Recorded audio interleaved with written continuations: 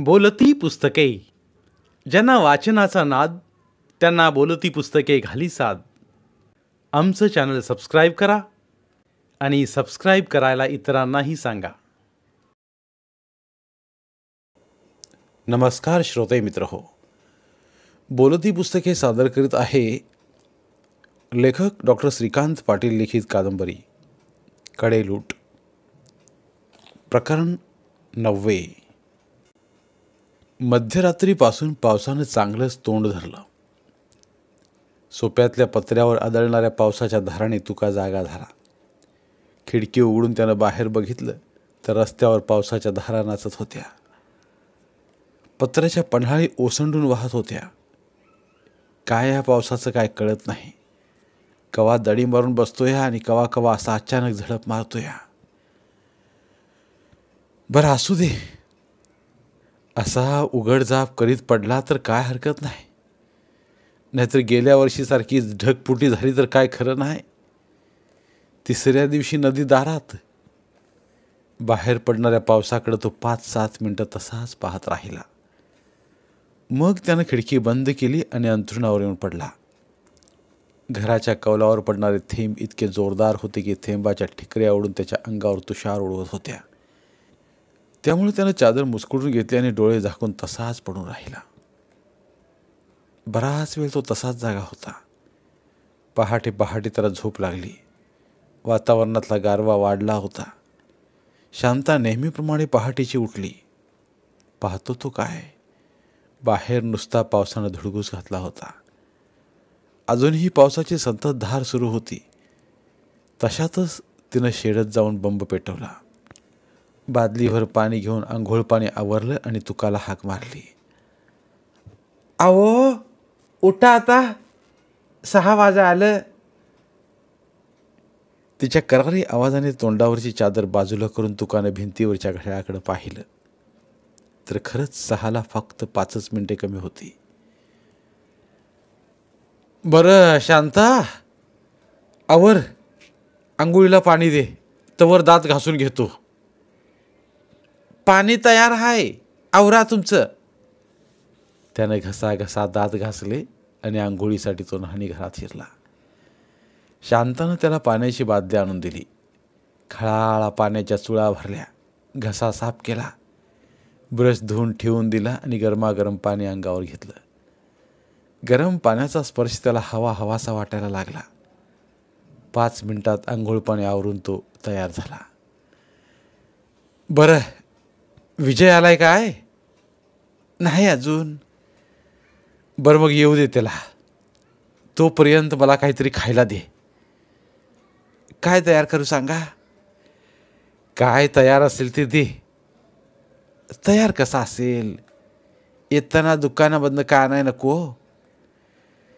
बरं बाई चुकलं माझं. त्या चुकलं म्हणायची काय गरज आहे काय? सांगा काय तयार करू? मी काय तुमच्या आज्ञेच्या बाहेर आहे काय? बरं काय करतेस मग? तुझं तू ठरवू. अहो मी कसं ठरवू? तुम्हाला काय पाहिजे ते सांगा की. बरं मग सुजीचा गुळाचा शिरा कर. करते बसा तोपर्यंत. तोपर्यंत पेपरवाल्या अरुणनं पेपरची घडी घरात आणून दिली. तसा तुका पेपर वाचण्यात रमून गेला. महाराष्ट्रात पावसाचे जोरदार पुनरागमन. सर्वच नद्या दुथडी भरून वाहू लागल्या. धरण क्षेत्रात सतत धार पाऊस. सह्याद्रीच्या डोंगर रांगात नयन मनोहरी धबधब्यांचे लोबस दृश्य. अशा बातम्यांनी त्याचे लक्ष वेधून घेतले. बरं झालं बाबा पावसानं सुरुवात केली. नाहीतर खरीपाची पिकं कोमेजायला लागली होती. तो स्वतःशीच पुटपुटला. शिरा घेऊन आलेल्या शांतानं विचारलं असं काय बडबड आलाय? अगं बडबडीत नाही. पेपर वाचतोय ना मग बरं बरं असू दे. हा तुमच्या आवडीचा शिरा खावा. तवर चहाला पाणी ठेवते. गरमागरम शिरा खात खात तुकानं परत पेपरात डोकं घातलं. पेपरमध्ये पावसाच्याच बातम्यांनी पानं भरून गेली होती. एखाद दुसरी इतर कार्यक्रमाची बातमी व जाहिरातीची पानं सोडली तर पावसाच्या बातम्यांनी साऱ्या पेपरचा ताबा घेतला होता. नदीकाठच्या गावांनी घ्यायची खबरदारी. याविषयी एक विस्तृत लेख आला होता. तो लेख त्यानं पुरता वाचून काढला. नदीकाठच्या वस्त्यावर असणाऱ्या लोकांनी सावध राहण्याची आवश्यकता. गवत कापणीसाठी जाताना पात्राबाहेर आल्या मगरी पावसाचे पाणी बिळात शिरल्यामुळे बाहेर आले साप. यांच्यापासून इजा होऊ शकते. म्हणून शेतकरी बांधवांनी खबरदारी घ्यावी. आपली जनावरे सुरक्षित स्थळी हलवावी. पाण्याच्या पातळीचा वरचेवर अंदाज घेऊन आपणही सुरक्षित स्थळी जावे. अशा काही सूचना मार्गदर्शन त्यामध्ये करण्यात आलं होतं. तो लेख वाचून त्याला खूप बरं वाटलं. वृत्तपत्र आणि बातम्याबरोबर असं लोकांचे प्रबोधन व मार्गदर्शनही करण्याची आवश्यकता आहे हे त्याला मनोमन पटलं. तसे त्याने चहा घेऊन आलेल्या शांताला बोलूनही दाखवलं. बरं विजय दुधाची किटली घेऊन आलाय. ठीक आहे मग मी जातो हॉटेलवर. दुपारी डबा घेऊन ये. असं म्हणून किटली गाडीच्या साईट हुकला त्यानं अडकवली आणि तो हॉटेलवर आला. नाना! बास काय पाऊस? त्यानं गमतीनं नानाला विचारलं तुम्हाला हवा असेल तर पडू दे नको असेल तर बास अरे तू तुझं मत सांग. हे काय लावलंयस तुम्हाला हवा? तुम्हाला नको? अहो मालक आमची काय शेती आहे का काय? अरे पण शेती नसली म्हणून काय झालं? पाऊस हा पाहिजेच की. मग तेच मी म्हणालो मी. तुम्ही शेतकरी माणसं पावसाची खरी शेतीला किती गरज आहे हे तुम्हाला जास्त कळतंय? तुला कळत नाही? कळतंय की. मग असा का म्हणालास? अहो तसं नव्ह. पाऊस पाहिजेच. पण तुम्हाला म्हणजे शेतकऱ्याला शेतीला पिकाला म्हणूनच हवा असेल तर पडू दे म्हटलं की. आणि बासचं काय? सतत पाऊस पडला तर भांगलण टोंगलण कशी करणार? का पावसात भांगलण करीत बसणार? वय ते बी खरं आहे. त्यानं इसवाटा घेतला तर तुम्हाला इतर मशागतीची कामं करता येतील. नाहीतर नाही. म्हणून तुम्हाला नको असेल तर बास असं म्हणालो. नाना तू आता लई तयारीचा झालायस बघ.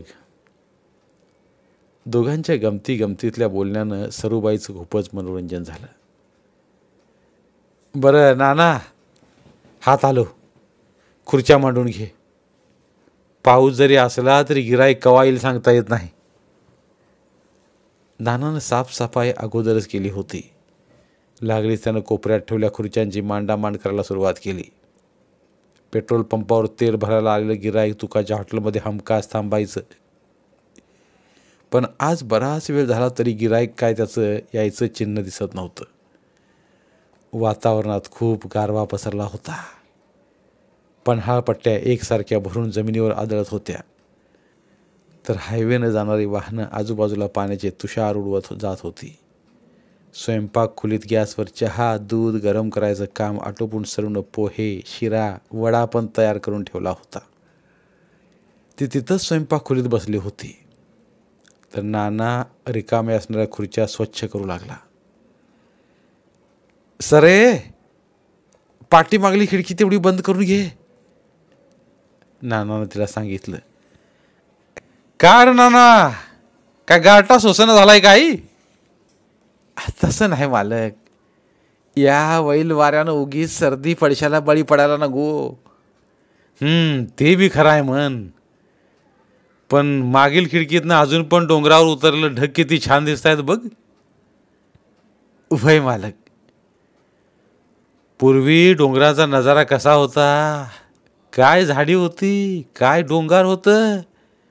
इथं नुसता रस्ता होता. हॉटेल वगैरे काही नव्हतं.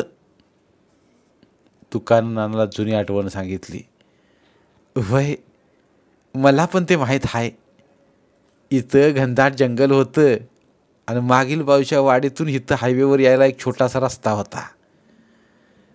नाना आम्ही त्याच रस्त्यानं ज्योतिबाला देवदर्शनाला जायचो.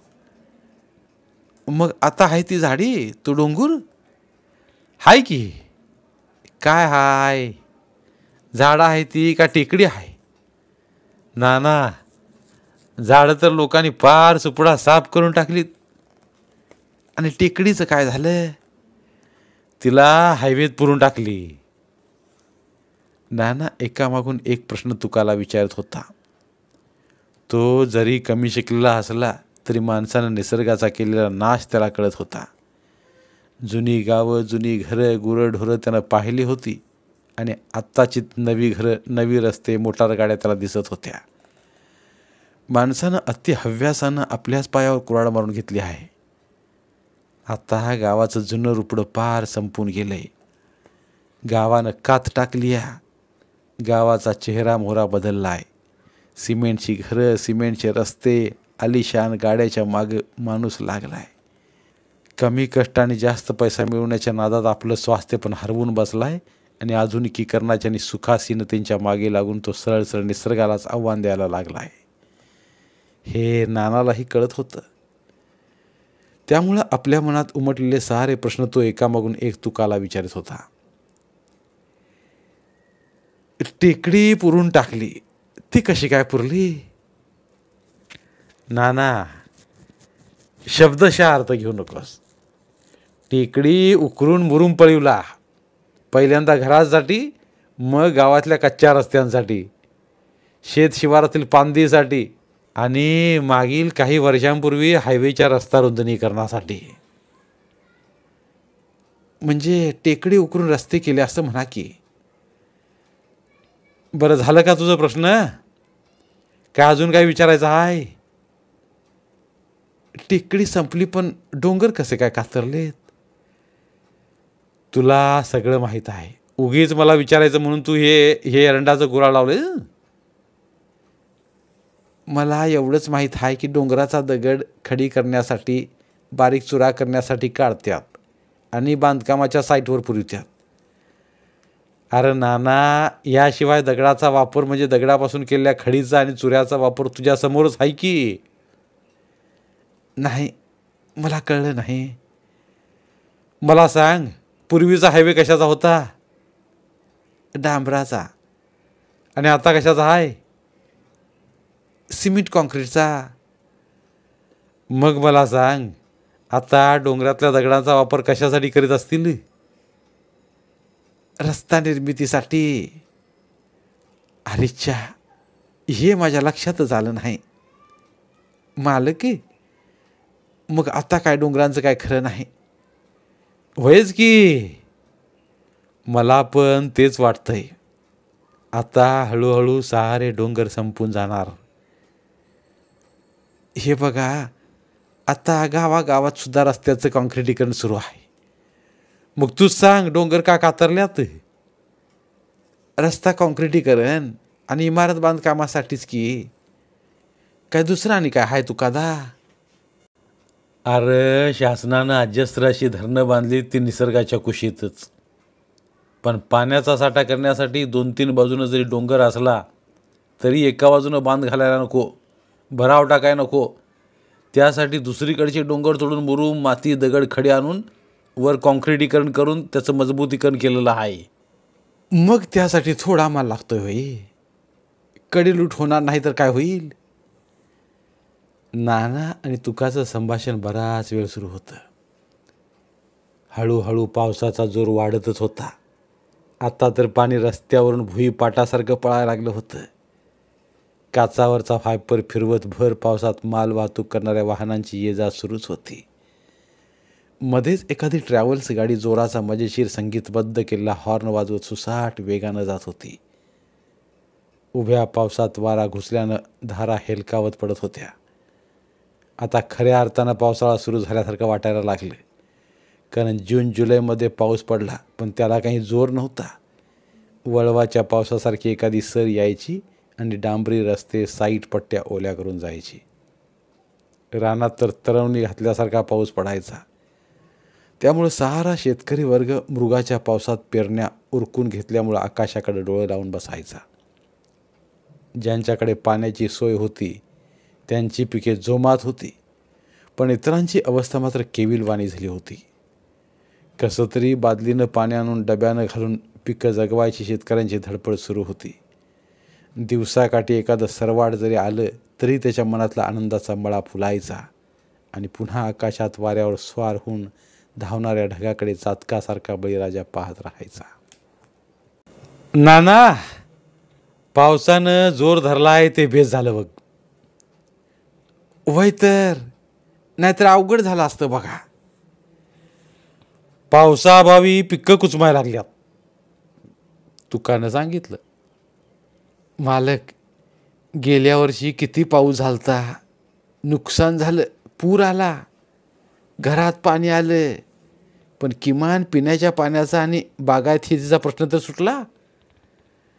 नाना ओला दुष्काळ परवाडला पण ह्यो कोरडा दुष्काळ नको व्हावा. मालक ते काय आपल्या हातात आहे काय? समज त्या देवाच्या हातात. त्याच्याच भरवशावर हा सगळा पसारा सुरू आहे. नाना तू तर आज अगदी अगदी प्रवचनच द्यायला लागलास की. तसं नाही बालक. त्याच्या इच्छेशिवाय काही पण होत नाही बघा. अरे हे खरं का खोटं मला कळत नाही. पण आपण निसर्गाच्या मूळ रूपाला छेडतो त्याला आव्हान देतो त्यामुळंच आपल्याला कधी अतिवृष्टीला तर कधी दुष्काळाला सामोरं जावं लागतं या. मालक ते काहीही असू दे. आता पावसाला सुरुवात झाली हे बेस झालं. आता ह्यो असाच पडत राहिला पाहिजे. त्यानं उघडजाप केली पाहिजे इसवाटा घेतला पाहिजे. पण पण पडला पाहिजे. तरच धरणं भरतील. मग काय काळजी नाही. म्हणजे आपल्याला बारमाही पाण्यासाठी धरणं पाहिजेत. मग हे बांधायला भराव मुरुम कुठून आणायचा? अगदीच तू दुतोंड्यासारखं बोलायला लागलास की. मालक मला त्यातलं एवढं काय कळत नाही. मग काय कळतं या? मी काय तुमच्या एवढा शिकलोय होई? ना ना. रस्ते आणि धरणं पाहिजेत हे खरं आहे. त्यासाठी आवश्यक तेवढा भराव आणि कॉन्क्रिटीकरण करायला माझा विरोध नाही. पण अति हव्यासापोटी व पैशाची वाढणारी भूक भागवण्यासाठी जी लूट होत आहे त्याला आपण विरोध करायला पाहिजे. जिथं झाडे तोडली आहेत तिथं नव्या रस्त्याच्या दुथरपा नव्याने वृक्षारोपण केले पाहिजेत. केवळ वृक्षारोपण करून चालणार नाही तर ती रोपं कशी रुजतील यासाठी प्रयत्न केला पाहिजेत. त्यांना पाणी देऊन ती जगवली पाहिजेत. तरच निसर्गाचा समतोल राखता येईल. नाहीतर आपल्या भागाचंही वाळवंट व्हायला वेळ लागणार नाही. भर पावसात एक ट्रक येऊन हॉटेलच्या दारात थांबला. ड्रायव्हर आणि त्याचा मदतनीस दोघंच त्यात होते. ट्रक थांबूनच पळत त्या हॉटेलात आले. ट्रकपासून हॉटेल चार पावलावर होतं. पण तरीही पावसानं त्यांना भिजवलंच. हात रुमालानं त्याने डोकं पुसलं आणि तुकाला विचारलं. जेवण आहे का? हाय बसा. नाना पाणी दे त्यांना. मालक दोन शाकाहारी ताटं लावा. होय लगेच देतो. सवयीप्रमाणे सरनं दहा वीस लोकांचं शाकाहारी व दहा वीस लोकांचं मांसाहारी जेवण तयार करून ठेवलेलं. लागलीच तिनं ताटं लावली. पाच मिनिटातच नाना ताटं घेऊन गिरायकांजवळ आला. हे घ्या. आणखी काय लागलं तर सांगा. बऱ्याच लांबचा प्रवास करून आल्यानं त्यांना भूक खूपच लागल्याचं जाणवत होतं. त्यामुळे ते ताटावर तुटून पडले. ए भैया दो रोटी लावू त्यातील एकानं नानाला फरमावलं. तसा नाना पटकन स्वयंपाकखोलीत गेला आणि दोन रोट्या घेऊन आला. रोट्या ताटात पडताच त्यांनी परत एकाग्र मनानं जेवणाचा आस्वाद घेत खाणं सुरूच ठेवलं. भैया सब्जी लाव. भैया थोड़ा प्याज मिलेगा क्या? भैया निंबू लाना. मग मात्र त्याने ताटातले पदार्थ जसे रिकामी होतील तशी नानाला ऑर्डरवर ऑर्डर द्यायला सुरुवात केली. नानाही त्या खवयांची प्रत्येक मागणी तत्परतेनं पूर्ण करत होता. जेवण झाल्यावर ड्रायव्हर बिल भागवण्यासाठी काउंटरकडे आला. बिल चुकतं केलं. क्या भाई? या बारिश बहुत है क्या? त्याने तुकाला विचारलं. आता तुका त्याच्याशी हिंदीत कसं बोलतो हे ऐकण्यासाठी नाना कान टवकावून ऐकायला लागला. त्याची ती आतुरता बघून तुका नानावर खेकसला. तुला काय पाहिजे रे नाना? मला काय हिंदी येत नाही वय मी कुठं असं म्हणतोय? नानानं स्पष्टीकरण दिलं. त्या दोघातलं मराठीतलं संभाषण ऐकून ते गिराईक थोडं भांबावलं. हे दोघंजण काय बोलतात ते त्याला समजत नसावं. नहीं भाई, अभी अभी शुरू हुई है। ठीक है भाई साहब मग ड्रायव्हरनं मान डोलावली आप कहाँ से आए हो? तुकाने विचारलं अभी तो हम बेंगलोर से आए हैं। और जा कहाँ रहे हो? हम तो गुजरात जा रहे हैं। अभी बेंगलोर में बारिश की स्थिति क्या है? वहाँ भी थोड़ी थोड़ी बारिश है। लेकिन रोड पे घाट सेक्शन में थोड़ी ट्रैफ़िक की समस्या होती है। क्यों? तुका अगदी अस्सल हिंदीत बोलत असलेला बघून नानाच्या भुया उंचावल्या। ड्राइवर भैया, ट्रैफ़िक जाम की समस्या क्यों आती है?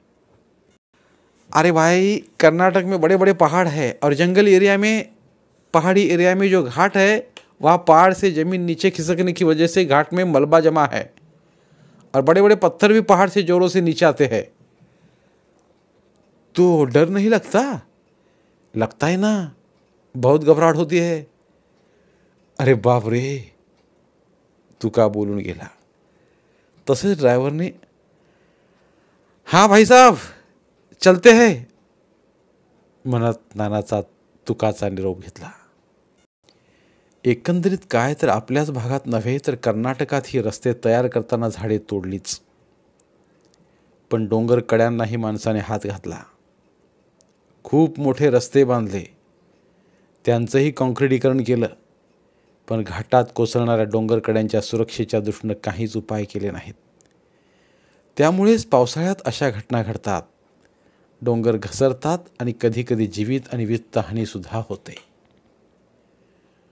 ट्रक ड्रायव्हरने सांगितल्या कर्नाटकाच्या भागात झालेल्या भूस्खलनाच्या प्रसंगामुळे तुकाला ज्योतिबाला जाताना डोंगरावरचा काही भाग घाटात रस्त्यावर येऊन रस्ता बंद झाल्याची घटना आठवली. त्या दिवशी झालेला त्रास आठवला. धन्यवाद. उर्वरित कादंबरी पुढील भागात. धन्यवाद. बोलती पुस्तके श्रोते मित्रांसाठी मराठी साहित्याचा खजिना फक्त एकोणसाठ रुपयात. फक्त एकोणसाठ रुपये माफक फी भरून आमच्या साहित्यरत्न या चॅनलचे सभासद व्हा व भरपूर मराठी ऑडिओ बुक्सचा आस्वाद घ्या.